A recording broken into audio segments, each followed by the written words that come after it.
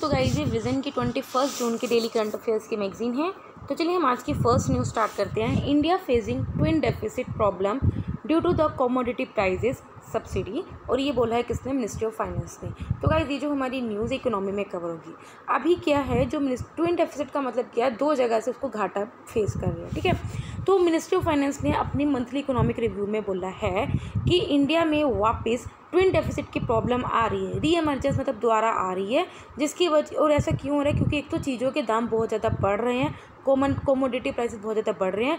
दूसरी बात क्या है, हम जो सब्सिडीज़ देती है गवर्नमेंट सब्सिडीज़ देती है, उसका बर्डन भी बढ़ रहा है। क्योंकि क्या होता है, हम सब्सिडीज़ दे देते हैं, लेकिन वो जो पैसा है, वो गवर्नमेंट के चेक से जाता है, उसके चेक उससे जाता है, पैसे से अकाउंट से जाता है। ठीक है? It's also the first time कि जो गवर्नमेंट ने बोला है कि इस ईयर में फ़िज़िकल स्लिपेज आ सकता है। ठीक है? However India that a low risk of stagflation मतलब स्टेगफ्लेशन नहीं आएगा। स्टेगफ्लेशन का मतलब क्या होता है? इन्फ्लेशन आकर स्टेगनेंट हो जाए तो उसे बोलते हैं। ठीक है? इन्फ्लेशन का मतलब क्या होता है? महँगाई बढ़ना। लेकिन स्टेगनेंट जब वो महँगाई काफ़ी टाइम तक कॉन्स्टेंट रहती है तो उसको स्टेगफ्लेशन बोलते हैं। ठीक है? तो मतलब इंडिया में स्टेगफ्लेशन तो नहीं आएगा। ठीक है? बिकॉज़ हमारी जो पॉलिसीज़ हैं, जो मतलब कि गवर्नमेंट करती रहती है, उसकी वजह से स्टेगफ्लेशन वाली सिचुएशन नहीं होने वाली। ठीक है? कल आप ये ज़रा दो चीज़ आप पढ़ सकते हो, क्योंकि हमारी इसमें कवर होती हैं, किसमें? स्टैटिक पार्ट में कवर होती हैं, ठीक है? फ़िज़िकल डेफिसिट या बजट डेफिसिट किसे बोलते हैं? अगर जो गवर्नमेंट की इनकम है वो कम हो जाए as compare to spending of course अगर आपका खर्चा, देखो इकोनॉमी की अगर कोई भी टर्म समझ नहीं हो तो आप अपना शॉर्ट मतलब अपने लेवल पे समझो, अपने घर के लेवल पे, ठीक है? मतलब कि आपके खर्चे बढ़ जाएँ एज़ कंपेयर टू आपकी इनकम ठीक है? रीज़न क्या होता है? अगर आप खर्चा ज़्यादा कर लो, ठीक है? जैसे फर्टिलाइज़र सब्सिडी देते हो फाइन अगर पैंडमिक की वजह से आपकी कमाई नहीं हो रही, ठीक है? एक्साइज ड्यूटी कट हो रही है डीजल पे पेट्रोल पे तो इसकी वजह से फ़िज़िकल डेफिसिट हो जाता है. एक होता है करंट अकाउंट डेफिसिट ठीक है? तो करंट अकाउंट डेफिसिट क्या होता है? One of the two main account in the balance of payment देखो, एक होता है बीओपी क्राइसिस होता है। देखो अगेन मैं आपको बोलूँगी, ये जब आप इकोनॉमी पढ़ोगे तो आप अच्छे से पढ़ोगे, ठीक है? इकोनॉमी में क्या, जब बीओपी क्राइसिस क्यों आता है? जब बीओपी क्राइसिस होता है मतलब कि जैसे इंडिया में नाइनटीन नाइन्टी वन में आया था, जब आईएमएफ ने हेल्प करी थी तो इंटरनेशनल मॉनिटरी फंड है, वो हमेशा हेल्प करता है जब बीओपी क्राइसिस आता है, ठीक है? जो दो अमाउंट्स होते हैं बीओपी में, एक तो करंट अकाउंट डेफिसिट होता है, ठीक है? तो कैड, एक होता है करंट अकाउंट सरप्लस ठीक है? अब ऑफकोर्स करंट अकाउंट सरप्लस क्या होता है? जब एक्सपोर्ट्स आपकी ज़्यादा हो इम्पोर्ट से, लेकिन डेफिसिट कब हो जाता है? जब आपके गुड्स एंड सर्विसेज़ का ट्रेड क्या हो जाए? कम हो मतलब कि इंपोर्ट ज़्यादा हो और एक्सपोर्ट कम हो, ठीक है? तो करंट अकाउंट में मेनली क्या करते हैं? गुड्स एंड सर्विसेज़ को देखते हैं, ठीक है? और साथ में जो ट्रांसफ़र पेमेंट्स होती है, ठीक है? समझ में आ गया? करंट अकाउंट डेफिसिट में क्या होता है? हम गुड्स एंड सर्विसेज़ का ट्रेड देखते हैं या फिर ट्रांसफ़र पेमेंट्स का। इसमें हम एफडीआई मतलब एक होता है कैपिटल अकाउंट डेफिसिट उसमें हम F D I foreign investment वो सब ऐड होता है, ठीक है? करंट अकाउंट डेफिसिट में क्या होता है? गुड्स एंड सर्विसेज़ का ट्रेड देखते हैं, ठीक है? रीज़न क्या होता है? अगर एनर्जी इंपोर्ट्स बढ़ गया ग्लोबल में कॉमोडिटी प्राइसेस बढ़ गए, जैसे वॉर की वजह से क्रूड ऑयल के प्राइसेस बढ़ गए एडिबल ऑयल के प्राइसेस बढ़ गए, या डोमेस्टिक डिमांड बढ़ गई, या फिर अनकम्पिटेटिव एक्सपोर्ट ठीक है? तो गाइज़ बीओपी क्राइसिस में दो मेन अकाउंट होते हैं करंट अकाउंट डेफिसिट होते हैं कैपिटल अकाउंट डेफिसिट होते हैं, ठीक है? तो अभी इसमें हमने बैलेंस इसमें हमने करंट अकाउंट डेफिसिट बढ़ा है, और आपको समझ में आ गया कि करंट अकाउंट डेफिसिट किसमें होता है? अगर गुड्स एंड सर्विसेज़ में आपको एक्सपोर्ट कम हो रहा है इंपोर्ट ज़्यादा हो रहा है सरप्लस कब होता है? ऑफकोर्स जब अगर आपका एक्सपोर्ट हो रहा है इंपोर्ट कम हो रहा है, ठीक है? तो ट्विन डेफिसिट का मतलब क्या होता है कि नेशन का करंट अकाउंट डेफिसिट और साथ में फ़िज़िकल डेफिसिट दोनों हो रहे हैं। मतलब कि फ़िज़िकल डेफिसिट भी हो रहा है और करंट अकाउंट डेफिसिट दोनों हो रहे हैं, ठीक है? स्टेगफ्लेशन का मतलब क्या होता है? हाई इन्फ्लेशन हो रहा है। साथ में अनएम्प्लॉयमेंट भी हो रही है और कंट्री की जो डिमांड है वो स्टेगनेंट है, वो घट नहीं रही है, ठीक है? इम्पैक्ट क्या होता है? अगर फ़िज़िकल डेफिसिट भी बढ़ रहा है करंट अकाउंट डेफिसिट भी बढ़ रहा है, ठीक है? तो उससे इम्पैक्ट क्या पड़ेगा? मतलब कि यूजली हम इसको मेजर करते हैं इकोनॉमिक ग्रोथ करने से। They are not necessary harmful ज़रूरी नहीं कि हमेशा हार्मफुल ही होंगे, ठीक है? लेकिन अगर लॉन्ग टर्म में रहेंगे तो उससे क्या होगा हमारा जो सेविंग रेट है वो कम हो जाएगा इंटरेस्ट रेट हमारा बढ़ेगा एक्सचेंज रेट की वजह से हमारे एक्सपोर्ट्स और ज़्यादा महँगे हो जाएँगे और हम और ज़्यादा बाहर से अब्रोड कंट्री से ज़्यादा बोरोइंग्स करेंगे, ठीक है? ट्विन डेफिसिट को आप किस तरह से ओवरकम कर सकते हो? सबसे पहले एक्सपेंडिचर्स को थोड़ा कम कर सकते हो, ठीक है? देख सकते हो कहाँ पर ज़रूरी है, क्या नहीं करना है, ठीक है? इसके अलावा जो भी हमारी फ़िज़िकल है, जो भी हमारे रिलेटेड है, उसको आप कंसोलिडेट कर सकते हो कंबाइन कर सकते हो। मॉनिटरी पॉलिसीज़ को थोड़ा टाइट कर दो। सब इम्पोर्ट पे जो सब्सिट्यूशन है, उसको कम कर दो स्पेशली फॉसिल फ्यूल्स पे, ठीक है? इसके अलावा रुपी जो हमारा, क्योंकि रुपी को थोड़ा हमें वैल्यूएट करना पड़ेगा, क्योंकि अभी हमारा, आपको देख रहा है, रुपया भी गिर रहा है डिवेल्यूएशन हो रहा है। उसको थोड़ा वैल्यूएशन करो सो दैट हमारा एक्सपोर्ट जो कॉम्पिटेटिव बने। ईज ऑफ़ डूइंग बिज़नेस में कुछ रिपोर्ट्स करने पड़ेंगे, ताकि हमारा इंडिया में कैपिटल आती रहे, ठीक है? कैपिटल इनफ्लो होता रहे फाइन नेक्स्ट न्यूज़ है ministry of housing and urban affairs launches the national initiative for promotion of upskilling of the nirman workers तो कई ये जो हमारी न्यूज़ है सोशल इशूज़ में कवर होगी। अभी का जो प्रोजेक्ट निपुण एक इनोवेटिव प्रोजेक्ट है, जिसके अंदर हम एक लाख कंस्ट्रक्शन वर्कर्स को ट्रेन करेंगे। इनको या तो फ्रेश स्किलिंग प्रोवाइड करेंगे, या फिर जो ऑलरेडी ट्रेन है, उनको अप स्किलिंग प्रोग्राम्स में उनको एम्प्लॉयमेंट देंगे। मतलब कि उनको मतलब कि ट्रेनिंग प्रोवाइड करेंगे। इसका इनिशिएटिव है किसके अंदर? Ministry of housing and urban affair के फ्लैगशिप स्कीम है दीनदयाल अंत्योदय योजना नेशनल अर्बन लाइवलीहुड मिशन के अंदर, ठीक है? अब इसकी प्रोजेक्ट इंप्लीमेंटेशन को डिवाइड किया जाएगा। एक तो है training through recognition of prior learning ठीक है? कंस्ट्रक्शन साइट पर मतलब कि कुछ लर्निंग से पहले उन्हें कुछ रिकोगनीशन दिया जाएगा, ठीक है? और आर पी एल एक कॉम्पोनेंट है, प्रधानमंत्री कौशल विकास योजना स्कीम का, जिसके अंदर क्या होगा इंडिविजुअल जिनको पहले ही कुछ एक्सपीरियंस है उनको असेस किया जाएगा और सर्टिफाई किया जाएगा, ठीक है? अब ये क्या प्रधानमंत्री कौशल विकास योजना, ये फ्लैगशिप स्किल डेवलपमेंट स्कीम है। किसका? Ministry of skill development entrepreneurship ठीक है? तो कौन सी स्कीम किस मिनिस्ट्री की है, ये आपको पता होना चाहिए। इसके अलावा हम क्या करेंगे? ट्रेनिंग देंगे through fresh skilling by plumbing and infrastructure sector skill course ठीक है? इंटरनेशनल प्लेसमेंट्स होंगे through industries builders and contractor क्योंकि जो इंटरनेशनल जो बड़े बड़े सोसाइटीज़ बनाते हैं तो वो क्या करते हैं? कुछ मतलब कि लोगों को हायर करते हैं परमानेंट हायर कर लेते हैं, ठीक है? तो जो इंडस्ट्रीज़ है बिल्डर्स होंगे कॉन्ट्रेक्टर्स होंगे, वो इनको प्लेस करेंगे इन प्लेसमेंट दे देंगे, ठीक है? इसके अलावा जो इसकी नोडल एजेंसी होगी वो नेशनल स्किल डेवलपमेंट कॉरपोरेशन है, जो किसके अंडर है ministry of skill development energy और इम्प्लीमेंटेशन पार्टनर होगा, ठीक है? सिग्निफिकेंस क्या होगा इसके साथ जो कंस्ट्रक्शन वर्कर्स हैं, जो भी मजदूर हो गए या फिर जो भी मिस्त्री हो गए जो जिनमें थोड़ा स्किल है, वो ज़्यादा जो जो अपॉर्चुनिटी जो जी सीख कर रहे हैं तो उनको हम दे सकेंगे, उनके वेजेस उनको बढ़ा सकते हैं और ऑफकोर्स उनको अच्छा लाइवलीहुड दे सकते हैं, ठीक है? ट्रेनिंग्स को हम प्रोवाइड करेंगे कि अगर एक्सीडेंटल इंश्योरेंस प्रोवाइड करेंगे डिजिटल स्किल्स भी प्रोवाइड करेंगे, जैसे कैशलेस ट्रांजेक्शन और एंटरप्रेन्योरशिप की तरह भी उनको ओरिएंटेड बनाएँगे, ठीक है? इसके अलावा जो दीनदयाल अंत्योदय योजना है, जो नेशनल अर्बन लाइवलीहुड मिशन है, इसका एम है कि जो अर्बन पुअर हाउस होल्ड हैं, उनको सेल्फ एम्प्लॉयमेंट प्रोवाइड करें और उनके वेजेस बढ़ाएँ, ठीक है? इसके अलावा क्या नोट जो अपर इनिशिएटिव है, वो निपुण भारत से अलग है, ठीक है? अभी हमने निपुण पर है। अब कंस्ट्रक्शन इंडस्ट्री कौन है? ये लार्जेस्ट एम्प्लॉयर है बाय 2022 मतलब बहुत ज़्यादा लोगों को एम्प्लॉयमेंट देती है। Near about 45 million additional skilled workers हैं पिछले दस सालों में, ठीक है? इंडिया के जीडीपी में नाइन परसेंट कॉन्ट्रीब्यूट भी करते हैं। अगर हमें इस सेक्टर की ग्रोथ करनी है तो हमारा जो national real estate development council है, साथ में confederation of real estate developer association है, वो इस प्रोजेक्ट निपुण को ज्वाइन करें एज ए इंडस्ट्री पार्टनर देखो गाइस आपको पता है इंडिया की जो मेन जीडीपी है जो तो सबसे ज़्यादा जो लोग, वैसे देखा जाए तो प्राइमरी सेक्टर में एम्प्लॉयड हैं, ठीक है? लेकिन सबसे ज़्यादा जो जीडीपी में कंट्रीब्यूट करता है, वो करता है हमारा टर्शरी सेक्टर ठीक है? सर्विस सेक्टर लेकिन इंडिया में जो ज़ोर है, वो है मैन्युफैक्चरिंग सेक्टर और अगर हमारा जितना मैन्युफैक्चरिंग सेक्टर ऊपर जाएगा तो इंडिया की इकोनॉमी उतनी बढ़ेगी। ये हमने कितना पढ़ा हुआ है नेशनल इन्वेस्टमेंट पाइपलाइन है। हमें क्या करना है, हमें इंडिया को फाइव ट्रिलियन डॉलर की इकोनॉमी बन रही है। वो तभी हो सकता है अगर हम अपना मैन्युफैक्चरिंग सेक्टर अप करेंगे, ठीक है? तो ये जो इनिशिएटिव है, वो हमारा मैनुफैक्चरिंग सेक्टर को और अपग्रेड करें ठीक है? आई होप आपको समझ में आ रहा हो। नेक्स्ट न्यूज़ है हमारा why is single use plastic being banned in India from the July one so ये जो हमारी न्यूज़ है, किसमें कवर होगी? एनवायरमेंट में कवर होगी। अभी का जो ministry of environment for and climate change है, उन्होंने बोला है कि वन जुलाई 2022 से कुछ लिस्ट ऑफ़ आइटम्स है जिनको बैन किया जाएगा। एज पर मैनुफैक्चर जो भी सिंगल यूज़ प्लास्टिक मतलब जो प्लास्टिक एक ही बार आप यूज़ करते हो, उसके बाद फेंक देते हो, ठीक है? जो भी मैनुफैक्चर करे इम्पोर्ट करे स्टॉक करे डिस्ट्रीब्यूट सेल है यूज़ है, उस इंक्लूडिंग पोलिस्टाइरिन या फिर पोलिस्टाइरिन देखो कैसे आपको देखा पोलीथीन बोलते हो आप। पॉलीथीन को पॉलीथीन बोलते हो ना? क्योंकि वह पॉलीथीन से बनता है पॉलीमर होता है पॉलीथीन उससे बनता है, ठीक है? तो जो भी प्लास्टिक पॉलिस्टीरिन से भरा हो या फिर पॉलिस्टाइरिन से भरा हो, उन कमोडिटीज़ को प्रोहिबिट किया जाएगा वन जुलाई दो हज़ार बाईस से, ठीक है? सिंगल यूज़ प्लास्टिक का मतलब क्या होता है? वो प्लास्टिक कमोडिटी जिसको आप सिर्फ़ एक ही बार यूज़ कर सकते हो, उस ना ही उसको फिर डिस्पोज करने से पहले या फिर रिसाइकल नहीं करते। ठीक है? अब नाइन रीजंस क्या हैं सो दैट आप सिंगल यूज़ प्लास्टिक को रेफ्यूज़ कर सको, क्योंकि पहली बात ये फोसिल फ्यूल से बनी होती है। कार्बन एमिशन बहुत ज़्यादा ज़रूरत है। इसके अलावा इनको डिग्रेड होने में बहुत ज़्यादा हंड्रेड ऑफ़ ईयर्स लग जाते हैं। इसके अलावा इसमें तो बहुत ही कम परसेंटेज ही आप चीज़ों को रिसाइकिल कर सकते हो। इसके अलावा फ़ूड एंड ड्रिंक को भी टॉक्सिक करती है। इसके अलावा ये क्या करती है? अगर आप उन को पीते हो, जो भी ड्रिंक्स में ये स्टोर होती है उससे आपके हार्मोन भी डिस्टर्ब हो सकते हैं और कैंसर भी हो सकते हैं। इसके अलावा हमारे ओशन को पोल्यूट कर दिया है। हमारा नाइन एम तो बर्ड्स बर्ड्स को भी मिल जाती है और हमारी फ़ूड चेन में एंटर कर जाती है, ठीक है? अब सिंगल यूज़ प्लास्टिक को जो बैंड किया जाएगा under plastic waste management rule 2016 सबसे पहले इसमें प्लास्टिक स्टिक्स हैं, जो ईयरबड्स प्लास्टिक स्टिक्स से बनती हैं, या फिर जो प्लास्टिक स्टिक्स बैलून्स में होती हैं, ठीक है? प्लास्टिक फ्लैग्स हो गए, जैसे इंडिपेंडेंस डे पे हो गया, ठीक है? कैंडी स्टिक्स होगी आइसक्रीम स्टिक्स होगी इन सबको, या फिर जो थर्मोकोल यूज़ होता है फॉर डेकोरेशन इसको सबसे पहले बैन किया जाएगा। कटलरी आइटम जैसे प्लेट्स कप्स ग्लासेस जो आप यूज़ करते हो, जैसे शादियों में होता है, जैसे फोक स्पून नाइफ स्ट्रॉ इन सबको बैन किया जाएगा। पैकिंग रैपिंग फ़िल्म से क्या क्या चीज़ों को होएगा? रैपिंग और packing film around the sweet boxes देखा होगा आपने, है ना? जैसे मिठाई के डब्बे में साइड में थोड़ी सी छोटी सी टीनी फ़िल्म होती है। इनविटेशन कार्ड सिगरेट पैकेट्स इन सब में पैकिंग और रैपिंग इनमें किया जाएगा।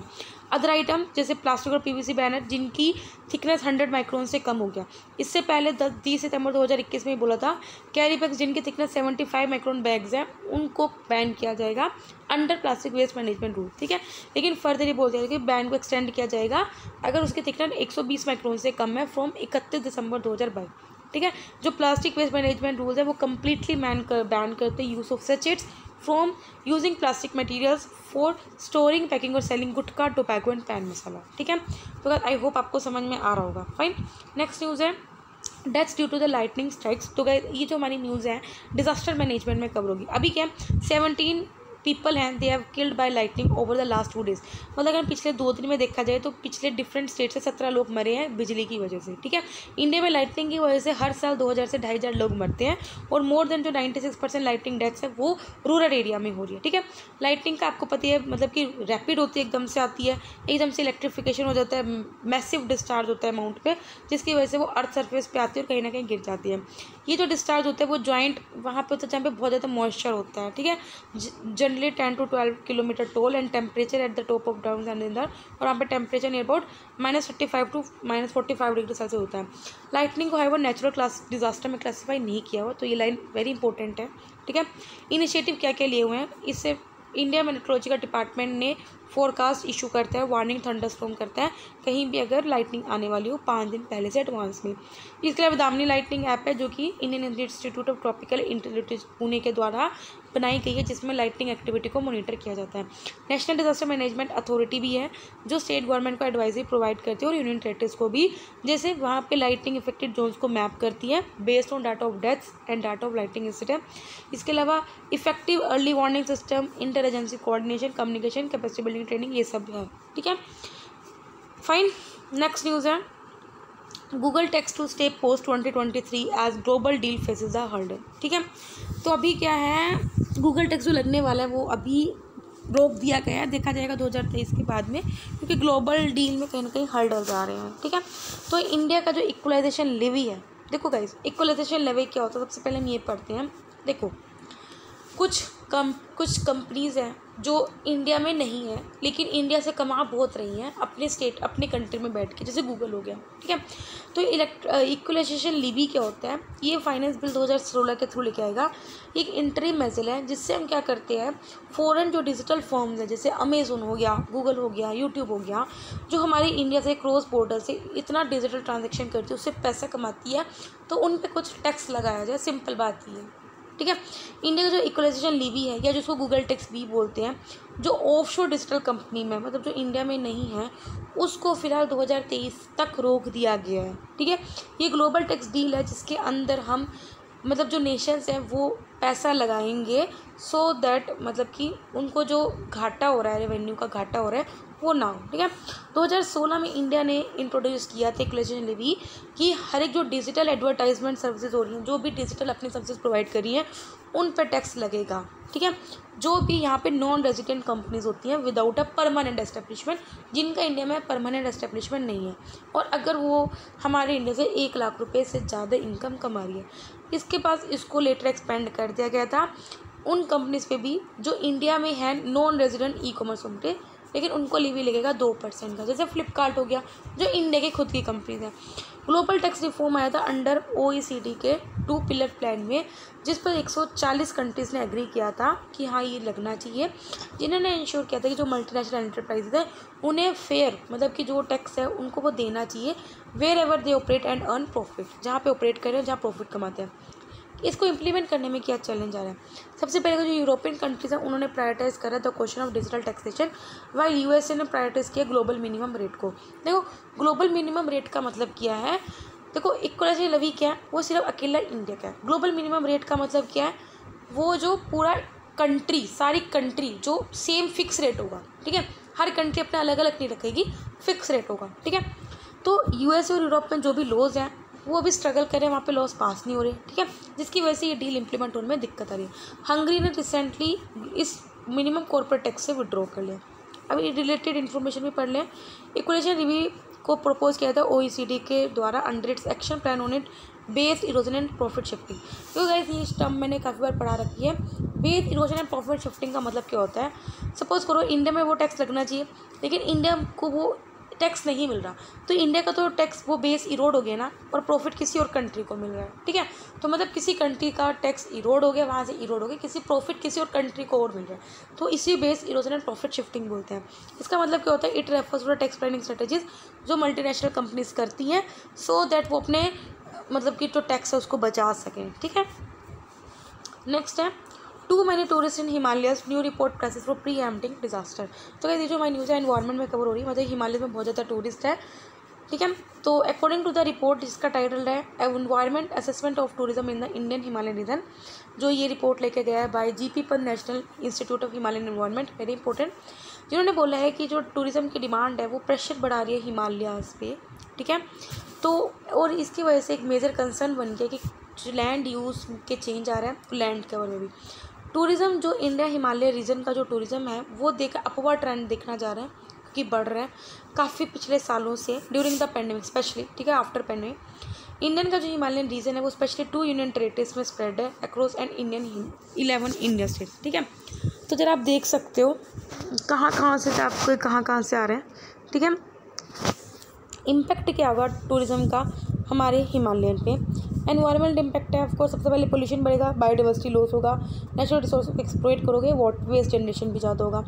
अर्बनाइजेशन फैलेगा, जिसकी वजह से ट्रैफ़िक बहुत होगा। देखना आप कभी घूमने जाते हो, कितना ट्रैफ़िक मिलता है। वहाँ का जो कल्चर है, वो लॉस होगा फ़ूड इनसिक्योरिटी भी क्योंकि इतना ज़्यादा लोग होगा तो फ़ूड डिमांड होगा।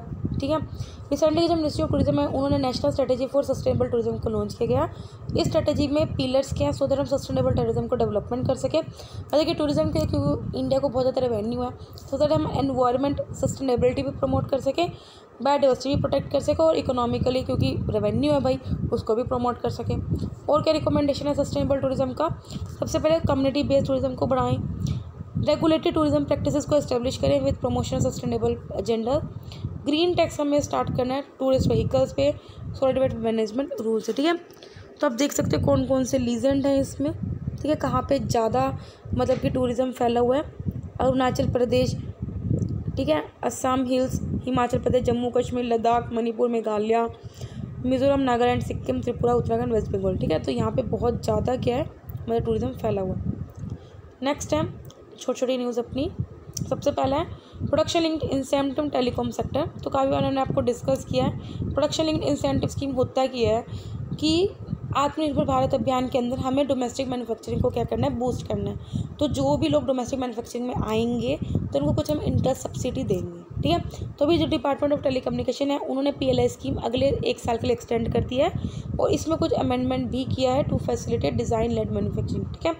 इन्होंने एडिशनल इंसेंटिव रेट भी दिया वन परसेंट ओवर द अब मतलब अपनी जितने टैक्स इंसेंटिव दे रहे उसमें एक परसेंट और इंसेंटिव देंगे। ये चार हज़ार करोड़ इंसेंटिव देगा under P L scheme budget दो हज़ार बाईस तेईस में प्रपोज किया गया था कि इस स्कीम को लॉन्च किया जाएगा for design led manufacturing as part of existing P L scheme so that हम और अच्छे इको सिस्टम बना सके फाइव जी के लिए। जो डिज़ाइन लेड मैनुफैक्चरिंग स्कीम है, ये ओपन है for both medium and small scale enterprises के लिए and non M S M Es के लिए including domestic and global companies एक सेकेंड फाइन नेक्स्ट है। Hybrid securities. अभी क्या है जो securities and Exchange Board of India उन्होंने ट्वेंटी मेंबर कमेटी को सेटअप किया है, under the K V Kamath on hybrid securities. इस, ये क्या करेगा? कुछ रिकमेंडेशन देगा, कुछ इश्यूज़ हैं, जैसे किस तरह से प्राइमरी सेकेंडरी मार्केट को आप डेवलपमेंट कर सकते हो रेगुलेट कर सकते हो। पर्पज़ क्या है? हमें सबसे पहले अपनी हाइब्रिड सिक्योरिटीज़ की ग्रोथ को बूस्ट करना है। जो इशू कर रहा है, उसको ईज़ करना और डोमेस्टिक और ग्लोबल कैपिटल को अट्रैक्ट करना अब हाइब्रिड सिक्योरिटीज़ का मतलब क्या होते हैं? देखो हाइब्रिड का मतलब दो तरह से सिक्योरिटीज़ का मतलब क्या है? कुछ इन्वेस्टमेंट इंस्ट्रूमेंट्स होंगे, जो दो और दो तरह के ज़्यादा फाइनेंशियल इंस्ट्रूमेंट्स को जोड़ेंगे। इक्विटीज़ हो गया बॉन्ड तरह के कैरेक्टर ठीक है? For example infrastructure investment trust हो गए रियल इस्टेट इन्वेस्टमेंट ट्रस्ट हो गए प्रेफर्ड स्टॉक्स हो गए। नेक्स्ट है पिंक बोलवोम तो रिसेंटली क्या है? पिंक बोलवोम है क्या? एक इंसेक्ट है। जो कि कॉटन में पेस्ट होता है पॉसिबली या नेटिव माना जाता है इंडियन ओशन रीजन से बिलोंग करता है। अभी जो तो एडल्ट फीमेल जो पिंक बोलवोम है, उन्होंने एग दिए कॉटन बोल्स पे, ठीक है? वंस हैज़ द लेवे ईट द सीड्स और ये कॉटन की फाइबर को ख़राब कर देती है और ईल्ड और क्वालिटी ख़राब कर देती है। जो पिंक बोलवोम है, ये बीटी कॉटन को नहीं ख़राब करती एंड इंसेक्टिसाइड को, ठीक है? रिसेंटली क्या जो पी बी डब्ल्यू इन्फेस्टेशन है, उसको रिपोर्ट किया गया है, पंजाब और हरियाणा में जो कॉटन क्रॉप है, उस पर ठीक है? Desert in Tamil Nadu. अभी स्मॉल डेजर्ट सिचुएटेड तमिलनाडु में, जिसके अंदर रेंट साइड डिवीज़न है which is confined to Thoothukudi district ठीक है? रेड उसको ठहरी भी बोलते हैं तमिल में। इसमें कुछ सेडिमेंट्स हैं जो माना जा रहा है two point six million years ago है क्वार्टनरी पीरियड पे, और मेराइन डिपॉजिट से बनते हैं। जो रेड सेट ड्यूज है, उसमें कुछ मिनरल्स है, जैसे ilmenite magnetite rutile granite zircon ठीक है? स्टडी शो करते जो रेड ड्यूज है, वो माइट मतलब क्या था पास्ट में वो एशियन कोस्ट से पाया जाता था। और वहाँ पे लाइमस्टोन भी प्रेजेंट था और इंडिकेट करते हैं मराइन ट्रांजिशन का, ठीक है? नेक्स्ट है, प्रधानमंत्री आदि आदर्श ग्राम योजना। अभी मिनिस्टर ऑफ़ ट्राइबल अफेयर्स ने इस योजना को लॉन्च किया for faster development of tribal village so that हम ट्राइबल विलेज को और ज़्यादा डेवलप कर सकें। ऑब्जेक्टिव क्या? जो भी स्कीम्स चलती हैं ट्राइबल लोगों के लिए, ठीक है? उनको कोऑर्डिनेट करके वहाँ पर तक पहुँचाया जाए और उनको इम्प्लीमेंट किया जाए properly at bottom level fine कुछ प्लेसेस हैं जब हम पढ़ लेते हैं कौन कौन से कोलंबिया जिसकी कैपिटल है बोगोटा कोलंबिया ने अभी गुस्तवा पेट्रो को इलेक्ट किया जो कि फॉर्मर गुरीला फाइटर थे और लेफ़्ट विंग प्रेसिडेंट भी थे। कोलंबिया एक north western South America country है, जिसकी कोस्टल अटलांटिक क्वेश्चन में as well as Pacific ocean में। बाउंड्रीज क्या लैंड बॉर्डर शेयर करते हैं Brazil Ecuador Panama Peru Venezuela से। मेटम बाइडर शेयर करते हैं Costa Rica Dominion Republic Haiti Honduras Jamaica इन सबसे, ठीक है? फीचर्स ये हाईएस्ट पॉइंट यहाँ पे क्या है? पीको क्रिस्टल कोलन ऑफ़ सीरा निवाडा ठीक है, पढ़ा होगा आपने। मेजर रिवर्स क्या है? यहाँ पे पैरामा इको सिस्टम है unique grass and shrub ecosystem है। मैगडेना अमेजन यूनिका ये मेन रिवर है। नेक्स्ट है लिथुनिया जिसके कैपिटल है विनियस रशिया ने बोला कि जो लिथुनिया में ट्रांजिट बैन हुआ है करना, उसको कंडेम किया है। ठीक है? लिथुनिया एक लार्जेस्ट और मोस्ट पॉपुलर बाल्टिक कंट्री है situated in the north eastern Europe तो कहीं अब बाल्टिक कंट्रीज़ के कौन कौन से नेम है, वो आप मुझे कमेंट सेक्शन में बताओगे। बॉर्डर शेयर करती है लातविया बिलरस पोलैंड और रशिया में। माई टाइम बॉर्डर शेयर करते हैं स्वीडन से through Baltic sea geographical feature highest point ऑक्सर hill है मेन रिवर निमान और नेरिस एंड वेंट है, ठीक है? नेक्स्ट है protected areas and areas in news ठीक है? National Chambal sanctuary. अभी क्या इलीगल जो सैंड माइनिंग हो रही है तो मध्य प्रदेश ने प्लान किया है कि वो क्या करेगा, जो भी नेशनल चंबल सेंचुरी को लीगल करेगा कुछ पार्ट्स में, सैंड माइनिंग को बैन किया गया है नेशनल चंबल सेंचुरी में सिंस 2006 ये तीन स्टेट से पास होती है नेशनल चंबल सेंचुरी, उत्तर प्रदेश, मध्य प्रदेश और राजस्थान। और इसके अलावा फोर थर्टी फाइव किलोमीटर का टोटल स्ट्रेच है चंबल और ट्रिब्यूटरी पार्वती में, ठीक है? इंपॉर्टेंट वर्ल्ड एरिया भी है। इसके अलावा नेशनल चंबल सेंचुरी में क्रिटिकल इंडंजन घरियाज भी हैं, कुछ गंगेटिक डॉल्फिन भी हैं, मगर क्रोकोडाइल्स भी हैं और टर्टल स्पीसीज की भी हैं, ठीक है? नेक्स्ट है Khuvsgul lake national park Mongolia का जो खुदगुल लेक नेशनल पार्क है, उसको ऐड किया गया world network of biosphere reserve UNESCO में। वेरी इंपॉर्टेंट ये लोकेटेड है in northern Mongolian province of Khuvsgul near Russian border nearly सत्तर परसेंट मंगोलिया फ्रेश वाटर का यहीं से आता है। लास्ट है कुछ डैम्स है न्यूज़ में। एक है सिरुबिनिया डैम केरला ने अभी कुछ एडिशनल वाटर रिलीज़ किया from Siruvani dam so that जो ड्रिंकिंग वाटर नीड है कोयम्बाटूर रीजन की, उसको पूरी कर सके आफ्टर जो तमिलनाडु के सीएम ने केरला को लिखा था, ठीक है? ये पालकर केरला में सिचुएटेड है और कंस्ट्रक्ट है सिरुवानी रिवर पे। अगेन वेरी इंपॉर्टेंट नेक्स्ट है अपर सिंग मल्टीपर्पज स्टोरेज प्रोजेक्ट अभी क्या है?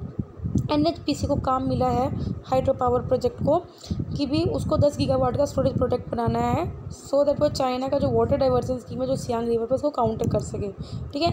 ये डैम को बिल्ड किया जाएगा अरुणाचल प्रदेश के इंक्योंग रिवर पे, ठीक है? तो यहाँ ट्वेंटी फ़र्स्ट जून के डेली करंट अफेयर्स को कंप्लीट होते हैं। वीडियो अच्छी लगे तो लाइक करना, कोई डाउट कमेंट करना। तब तक ले बाय टाटा।